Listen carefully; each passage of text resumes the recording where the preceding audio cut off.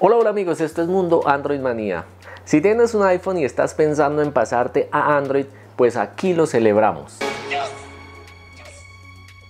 O bueno, si tienes un teléfono y quieres migrar toda la información a otro, no importa si es de Android a Android, de iPhone a Android o de Android a iPhone, pues hoy vamos a hacer un video muy especial con una aplicación de Wondershare que ya nos tiene acostumbrados a buenos programas con el cual podremos hacer migración de información, pasar todas las conversaciones de WhatsApp de un iPhone a un Android, pasar eh, información de archivos, de fotos, de videos, eh, hacer copias de seguridad de todo nuestro teléfono en nuestra computadora. Tiene varias opciones, algunas que son gratuitas, otras que son de pago y es lo que vamos a ver aquí a continuación. Pero vamos con la intro y mientras ves la intro, ¿qué tal si me regalas un buen like.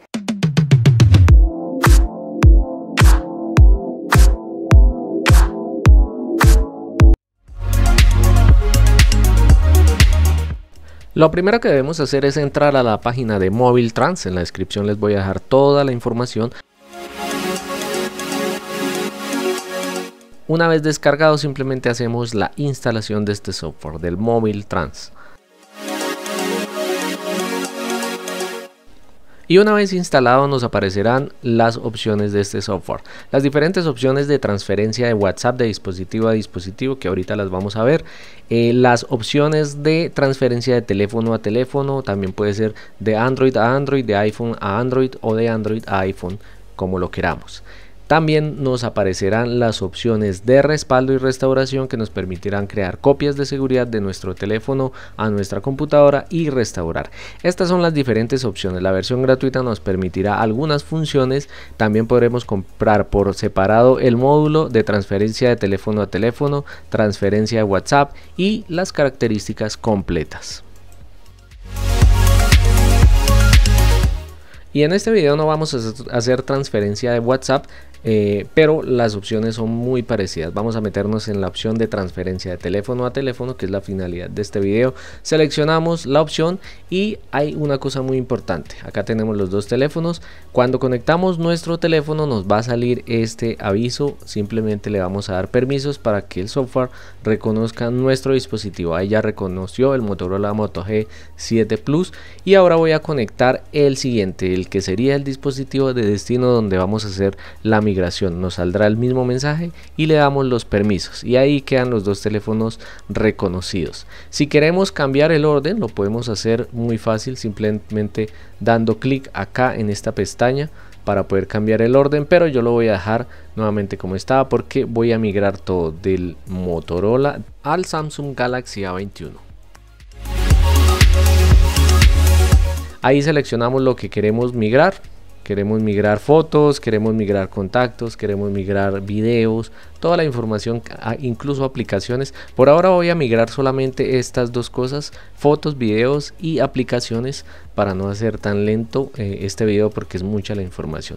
Una vez empezamos a migrar la información, eh, simplemente esto se va a demorar algún tiempo. Acá por obvias razones yo tengo que acelerar este video porque eh, la verdad es que se demora bastante tiempo, dependiendo de la cantidad de aplicaciones y de fotos y videos o información que vayamos a migrar. Una vez se completa la información, pues simplemente es validar el teléfono de destino y como ustedes se dan cuenta, ahí ya me aparecen una gran cantidad de aplicaciones porque el teléfono básicamente estaba eh, restaurado de fábrica.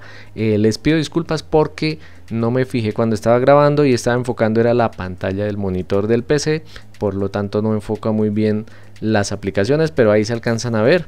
Eh, una de las que migré es el Hype OS de videos pasados que lo tenía en el Moto G7 Plus. Así es que esto funciona muy bien. Mirando la galería, vamos a mirar, a buscar por acá la galería. Eh, ahí nos aparecerá en la parte de fotos y videos, pues todas las fotos y videos que tenía en el anterior eh, teléfono. Así es que la aplicación en esta opción funciona bastante, bastante bien. Ahora llegamos a la parte interesante. ¿Qué pasa si queremos migrar información de un iPhone a un Android o viceversa?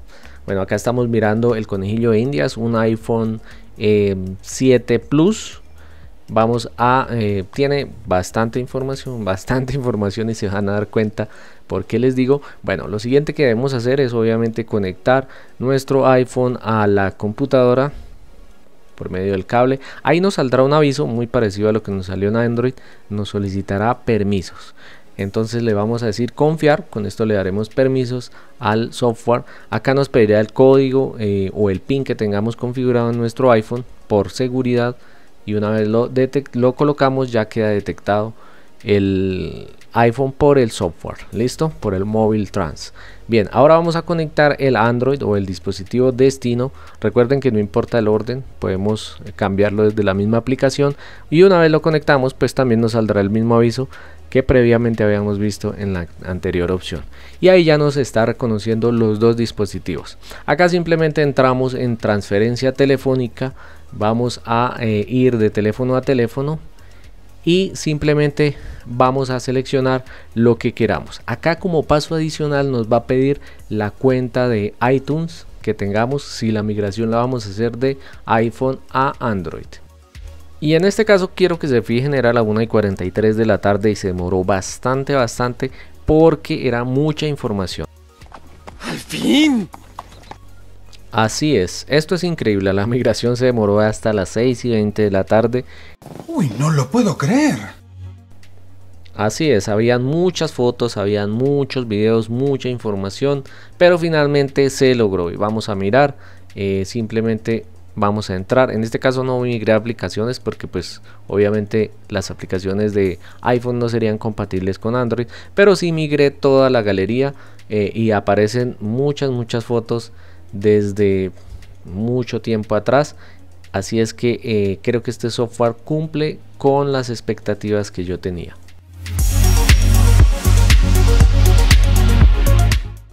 Bueno, y ahora vamos a probar una de las funciones que vienen en la versión gratuita y es poder eh, hacer copias de restauración o restaurar a nuestro teléfono. Acá simplemente entramos en la parte de respaldo, eh, seleccionamos el dispositivo, lo que queremos, eh, la copia que queremos realizar de lo que queramos realizar. Esto también se puede demorar dependiendo de la información que se tenga. Y una vez, eh, acá es un poco más rápido, eso sí. Eh, y una vez tenemos nuestra copia de seguridad, pues ya la tendremos completa en nuestro computador. Bien, ¿esto para qué sirve? Si nuestro, nuestro teléfono falla, si alguna aplicación se nos borró, si se nos borró eh, la galería de fotos, los videos, simplemente es ir a la misma aplicación, en la misma opción, pero vamos a la opción de restaurar y ahí nos aparecerá la copia para poder hacer una restauración completa. Y ya para concluir este software, la verdad me pareció muy versátil el hecho de poder migrar toda la información de un iPhone a un Android o viceversa o de Android a Android o crear copias de seguridad, pues es un software que la verdad vale mucho la pena. Como sabemos, hay algunas funciones que son gratuitas, otras que son de pago. Ustedes analizarán según la necesidad eh, si vale la pena comprar la licencia o simplemente utilizar las funciones gratuitas. Recuerden que en la descripción del video les voy a dejar todos los links para que puedan entrar y mirar todas las características, descargar la aplicación si lo quieren hacer. Eh, eso es todo por hoy. Recuerden que acá arriba se pueden suscribir al canal. Recuerden que acá les dejo uno de los videos recomendados del canal. Como siempre, muchas gracias por ese apoyo y nos vemos hasta la próxima. Chao, chao.